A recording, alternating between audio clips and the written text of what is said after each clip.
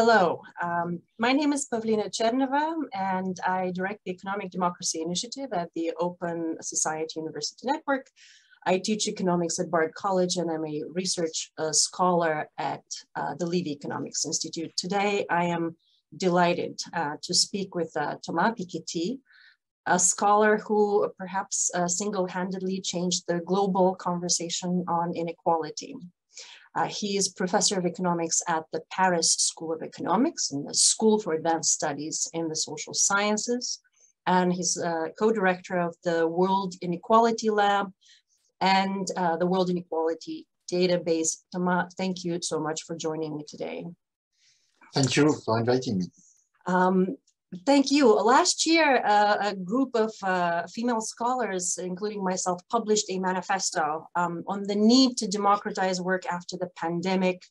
Um, today, uh, the, the manifesto was published in uh, around the world in many uh, papers, and, and today uh, we are following on that momentum with a global forum on democratizing work to take place during October 5th through 7th. Um, and uh, the basic premise of that work was that uh, people are not simple uh, resources, that human well-being cannot be governed by market forces alone. And uh, we highlighted uh, three uh, principles of the manifesto. the first one is that it's time to democratize firms by involving employees in decisions relating to their lives and the future of the workplace. Uh, the second was um, the need to decommodify work um, by collectively guaranteeing useful, uh, dignified employment, employment opportunities to all. And of course, to decarbonize the planet, um, to marshal our collective resources and address uh, climate change. And I want to thank you very much for your support from the very beginning of this journey. So uh, today I just wanted to um, talk briefly uh, about how um, the manifesto resonates with your work. Um, are there specific aspects or principles um, that specifically um, connect um, to your research?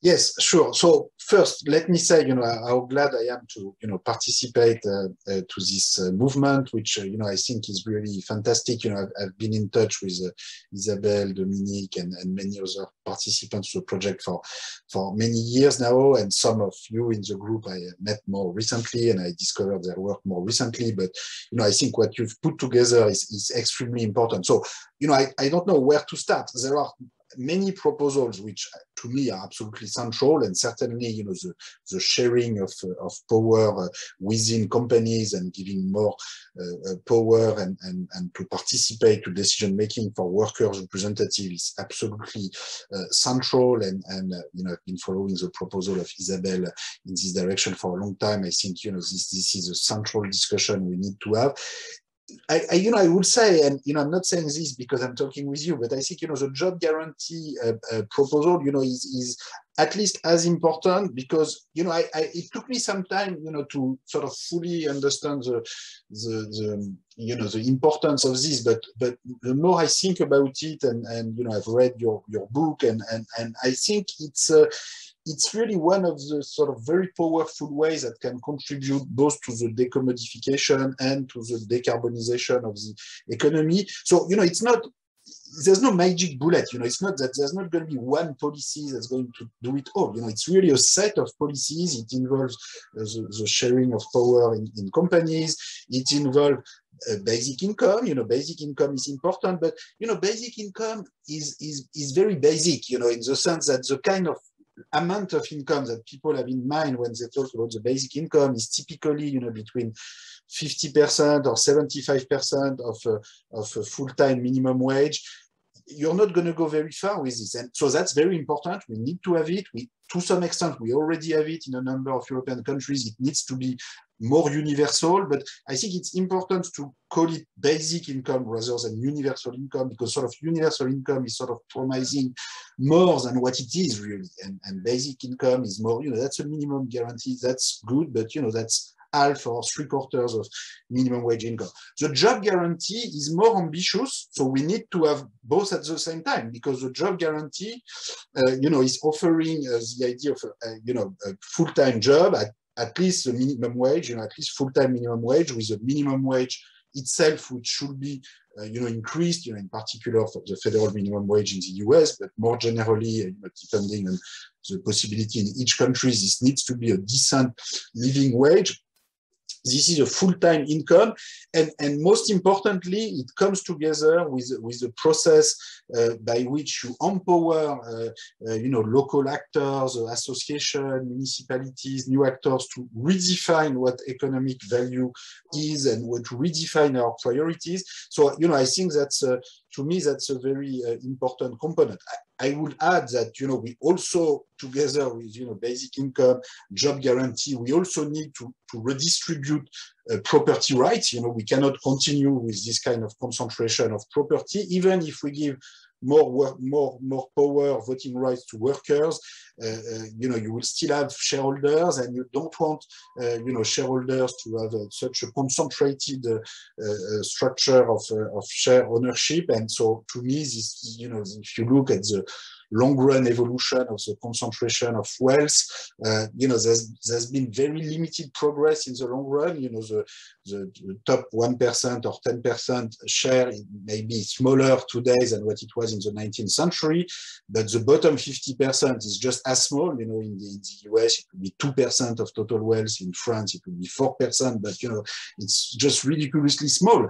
And so the, the middle, the 40% in between the top 10, the bottom 50 are, uh, you know, have a bigger share today than in the 19th century. But if you look at the bottom 50%, you know, it's, it's, uh, it's still close to zero. And even the intermediate 40%, their share has been declining. So we cannot just wait for growth, competition, to, to spread the wealth. You know, we need to think of other mechanisms. I've, I've talked about you know, the redistribution of inheritance, the redistribution of wealth.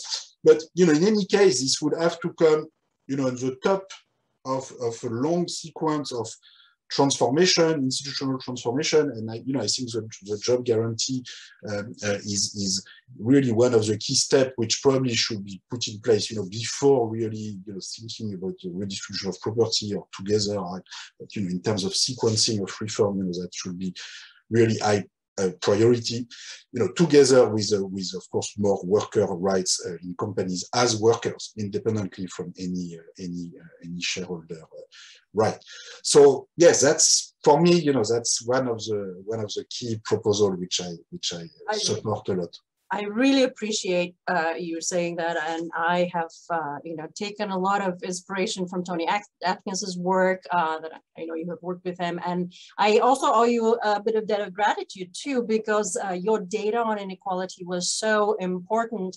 And uh, when it came out, I was curious to see um, what happens during periods of growth. Uh, the old argument that a, a rising tide lifts all boats and when I considered just the growth periods using your data, it was very clear that growth actually delivered more inequality. Um, but uh, the manifesto and our work um, is a recognition that these are multi-dimensional uh, battles that are all connected. They have the same root, that when we talk about uh, democratic workplace, it is so dependent on how people experience economic insecurity uh, whether you have just precarious job or you have no job and that our fates in a sense are intertwined. The fates of the working people and those who are not working and those who are working without pay.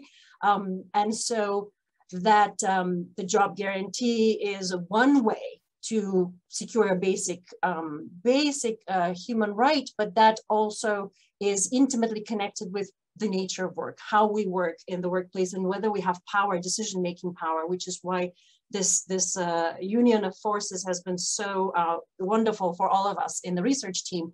And I wanted to connect that a bit more to your own research because um, you have, you know, you have put a spotlight on uh, this, uh, the discussion on distribution and pre-distribution, and that so often um, our attention is directed to tax policies, uh, redistributive tax policies, and they certainly have an important role to play, um, especially in reducing uh, power and the economy, um, the concentration of capital. But when you say um, uh, that, you know, uh, the focus also needs to be placed on pre uh, tax inequality. Um, how do you think about those processes and the kind of policies that might move us forward.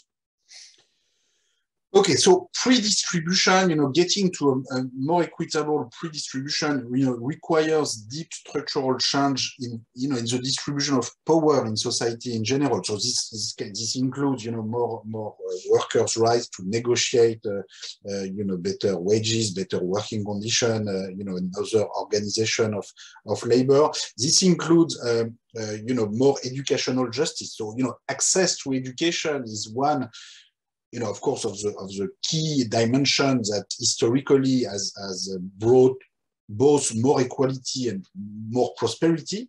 Uh, the problem is that you know there's still today and there's always been a lot of hypocrisy about you know the idea of equal opportunity, equal access to to uh, to education. When we look at actual data, you know today in the United States, and we look at you know percentile of parental income and probability to access higher education, you know you get almost a straight line, you know, going from a, you know, probability to access higher education, a little more than 20% for for children with very poor parents and and you know 95% for children with very rich parents and it's almost a straight line.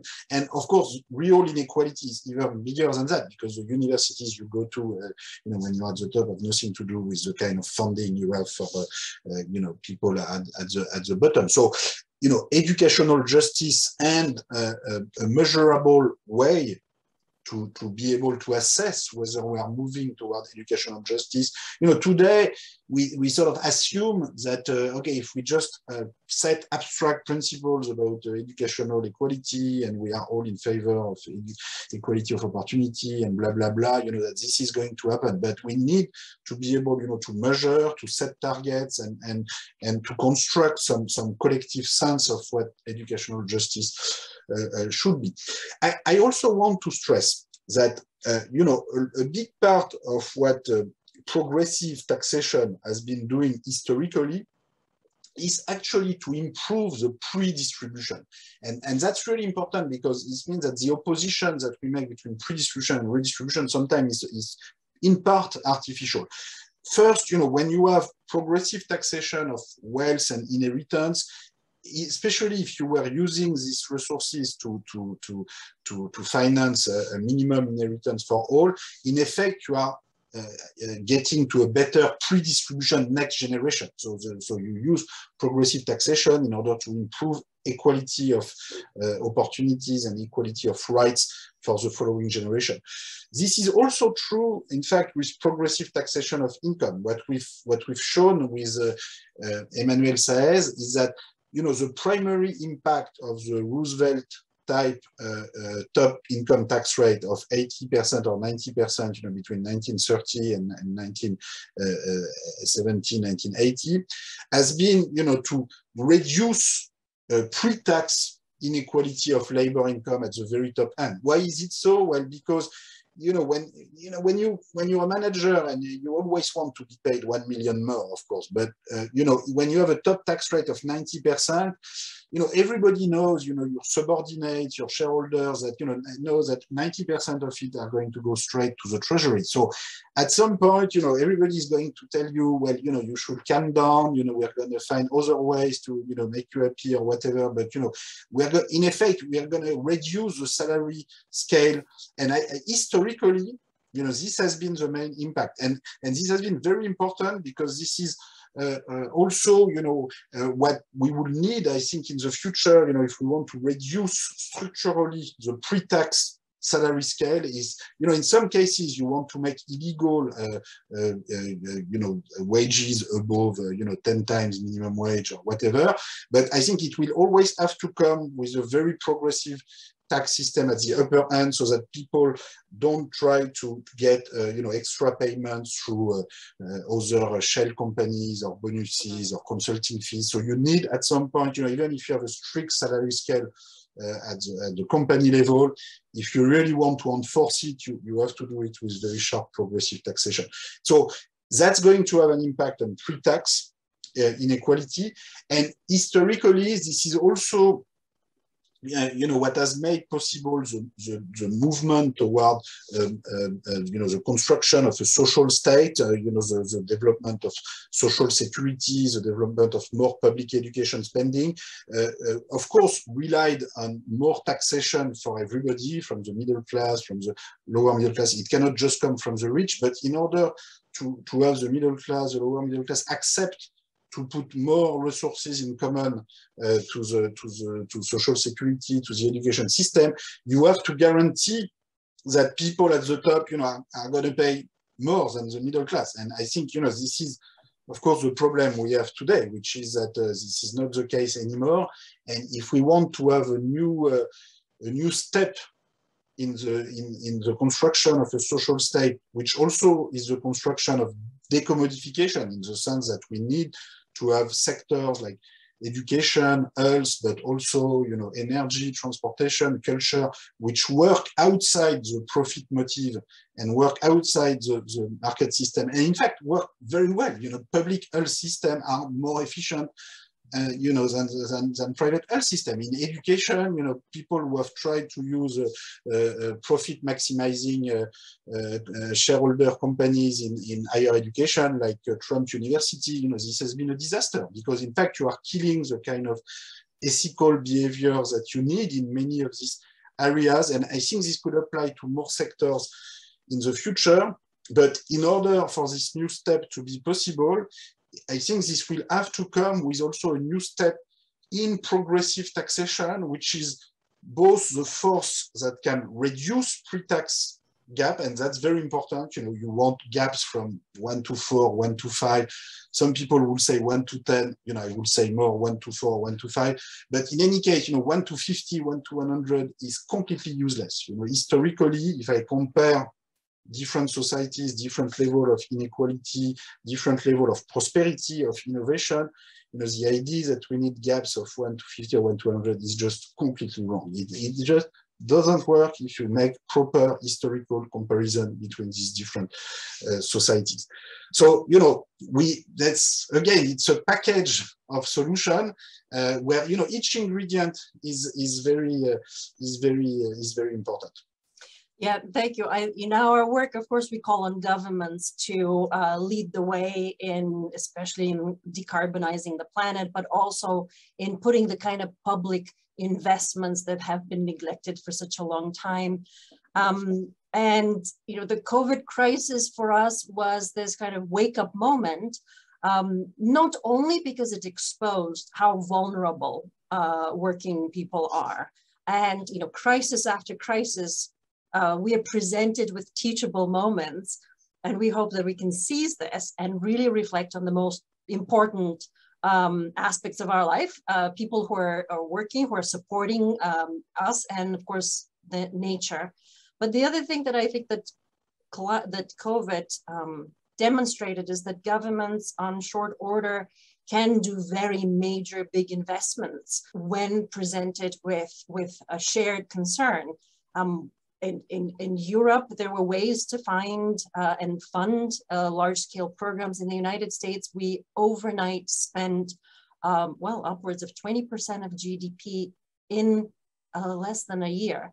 And so um, there is a decoupling uh, between public expenditure um, and taxation uh, as a practical matter, but also in terms of mission, uh, the mission of the public sector.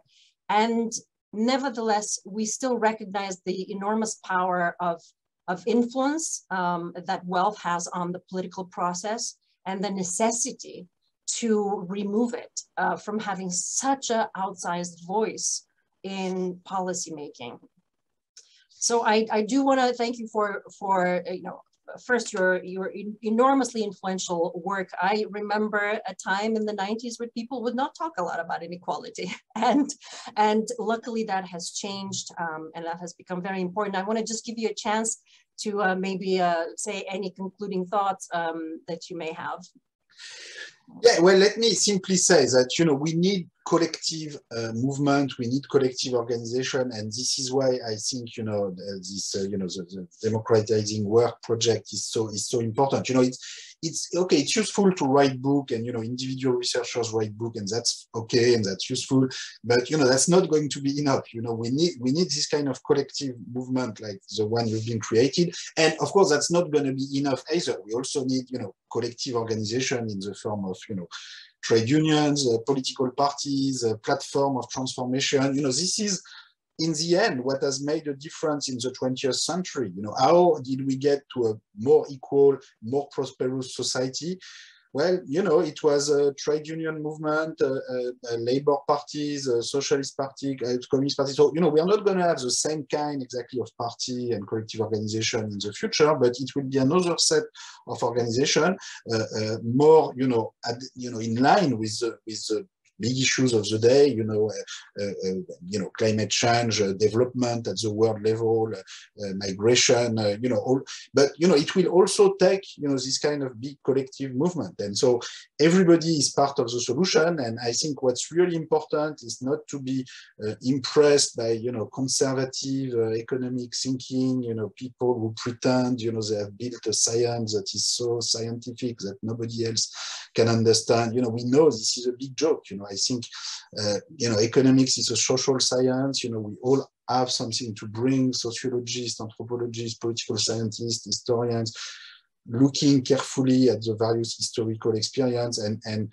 you know, every citizen, you know, needs to uh, sort of uh, appropriate for herself, himself, you know, this, this, body of knowledge in order to participate to, to collective uh, action. So thanks a lot for, uh, you know, contributing so much to this with uh, democratizing work. Uh, thank you so very much. I, I think that's a great note to end on. I appreciate your time and uh, your work as well. And um, I will urge our um, our viewers to come and join uh, the movement, uh, democratizing or uh, democratizingwork.org. Thank you so very much, uh, Thomas. Yeah, thank you, Pavlina. Thank you. Bye-bye. Bye.